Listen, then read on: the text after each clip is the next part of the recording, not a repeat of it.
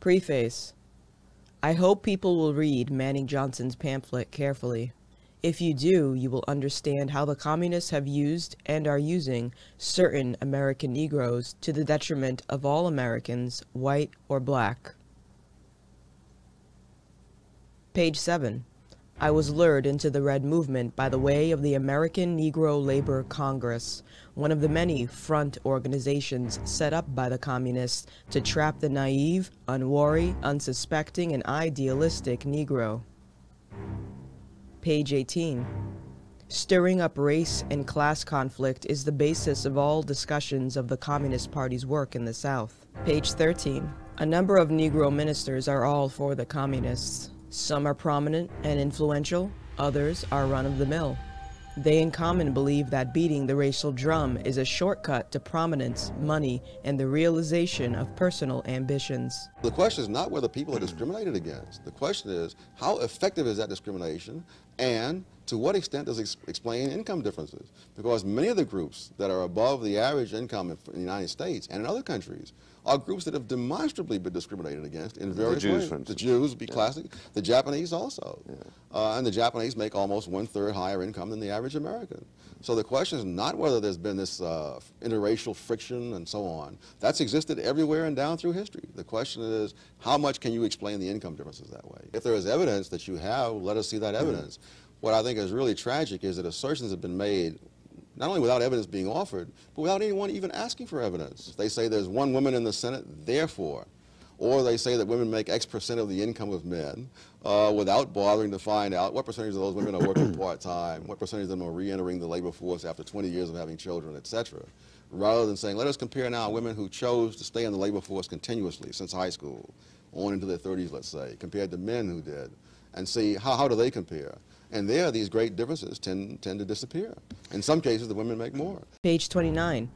The communists, through propaganda, have sold a number of intellectuals the idea that the Negro section is as ghetto, that the white Americans created it, set its geographical boundaries, that it is the product of race and hate and the inhumanity of white Americans. Therefore, it is a struggle of a Negro against white oppressors for emancipation.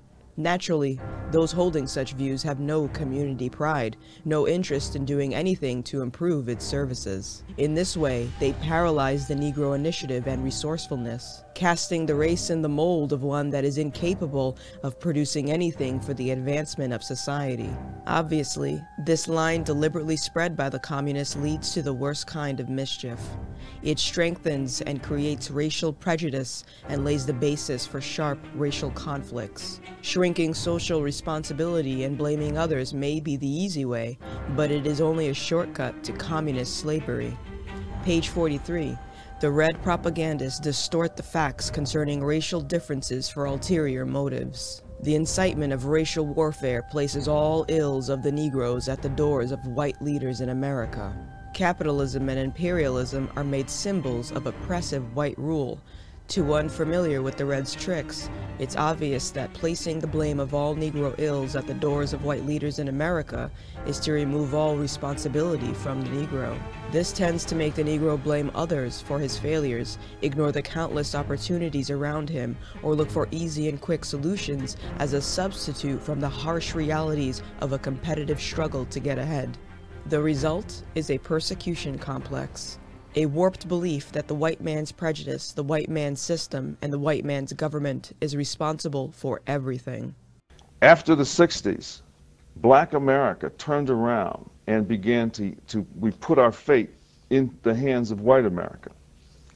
We became dependent on white America. We said we have to have this and, and we have to have that and, and uh, we have to have affirmative action. We have to have this kind of a program and so forth and so on. All these these demands that we made, and which then, of course, come out of a psychology of dependence, um, where I can't get ahead unless white America gives me all these things, and white America bends over backwards and uses affirmative action to get me in here and get me in there and so forth. I can't do it on my own. I can't be self-sufficient. I can't take care of myself. Such a belief is the way the Reds planned on it, for the next logical step is hate. that can be used by the Reds to accomplish their end. The fact that the Reds have never contributed anything tangible to the progress of the Negro is overlooked, though the Reds have collected millions of dollars as a result of race incitement. Like the Communist Party, the NAACP has collected millions of dollars through the exploitation of race issues. The bigger the race issue, the bigger the appeal, and the bigger the contributions. Yet one cannot find any report of any of this money being spent on factories and ships to provide jobs land and home construction, specialized training for talented youth, or combating crime and juvenile delinquency. Page 35. They are the ones who devise the methods and techniques used by their puppets to destroy the reputation and influence of those who stand in the way of the Negro liberation juggernaut. The Reds call those persons Uncle Toms. In their usual, diabolically clever way, the Reds took the name of a fine, sincere, and beloved character made famous in the greatest indictment of slavery and transformed him into a dirty, low, sneaky, and treacherous coward. This the Reds did in order to make the name Uncle Tom a symbol of social, economic, and political leprosy. No man dare stand up and proclaim the convictions counter to the Red agitation without running the certain risk of being pilloried.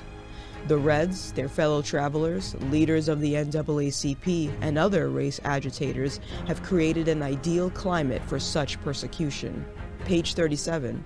The top white communist leaders know that racial as well as other differences between people have existed over a long span of years and will continue to exist even after centuries of re-education under communist rule. They also know that these differences can be used to play race against race, nationality against nationality, and class against class to advance the cause of communism. As early as 1928, the communists declared that the racial differences among our people constituted the weakest and most vulnerable point in our social fabric. By constantly probing and straining at this one spot, they calculated that eventually the cloth could be torn apart and that Americans could be divided, weakened, and perhaps even set against each other in open combat. Posing as a friend of the Negro under the guise of a campaign for Negro rights set race against race in the cold-blooded struggle for power. Page 52. Labeling opponents is a specialty of the Reds. Smear is a cardinal technique. Any label found in the red stockpile, you may be sure, is carefully made and selected to draw the maximum hate to the person or persons, the group or the organization to which it is attached. The use of such labels has a tendency to divide America. Page 53. The media of public information is far from free of communists and fellow travelers who operate under the guise of liberalism. They are ready, at all times, to do an effective smear job. Now, speaking of what the media says, you have uh, stopped giving interviews for the last couple of years. Yes, I should have start, stopped uh, many years before that, actually. Why you say that? uh, I see no correlation between what I say and what the media reports. Uh, one of the most uh, hideous things that I've seen reported in, uh, was on the CBS Morning News, where they said or suggested that I was a believer in the theory of genetic inferiority of blacks.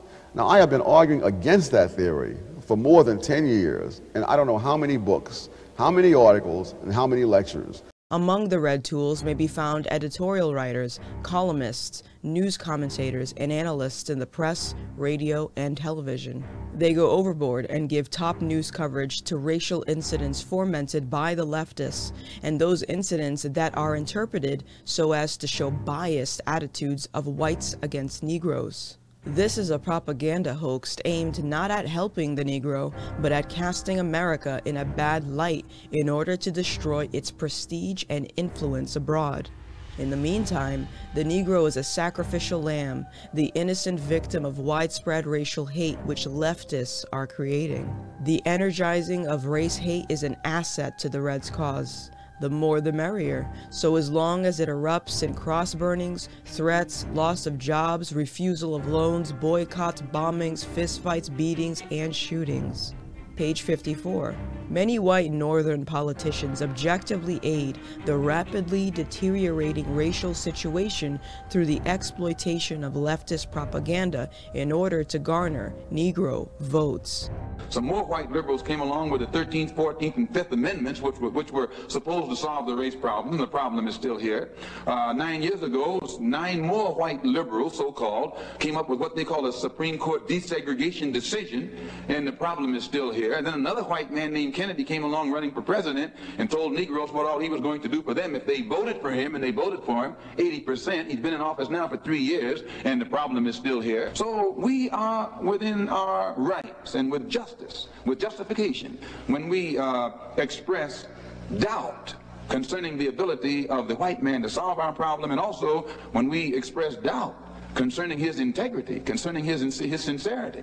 They care not a tinker's damn about a southern Negro and simply flatter the northern Negro, who they consider a gullible fool. Getting elected and re-elected is their only concern. Page 62. Nearly after a century removed from slavery, they are unwilling and incapable of throwing off their slave psychology. Red and political charlatans of all shades, aware of this fact, find the Negro intellectual easy prey. While race has been an important uh, detriment to blacks in, in general historically, uh, I doubt whether it is a, an important or as important uh, detriment today.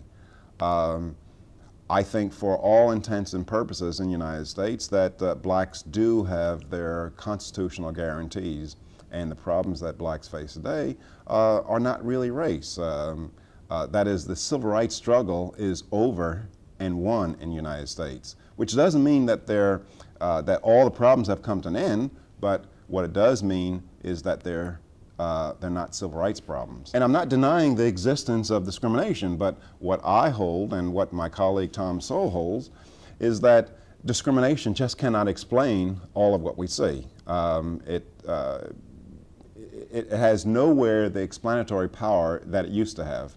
They know that to hold a comparable job, they must be just as good, and in most instances, better. Though a number of Negro intellectuals try to convince them that the cry for discrimination is a good substitute. Page 58, the Negro businessman has always been a chief target of the Reds. They despise him because of his conservatism. They label him a tool of white imperialists and an enemy of the Negro masses. Such labels are reserved for those the Reds plan to liquidate. And since the Negro businessman is an inspiration and an example to other Negroes, he is therefore an object of derision by the communists page 61, betrayal of the Negro people may come through communist corruption of the Negro intellectual. This is not so difficult since the communists, the white liberals, and the white progressives do the thinking for them. And as far as I'm concerned, it is a high-tech lynching for uppity blacks who in any way deign to think for themselves, to do for themselves, to have different ideas. And it is a message that unless you kowtow to an old order, this is what will happen to you.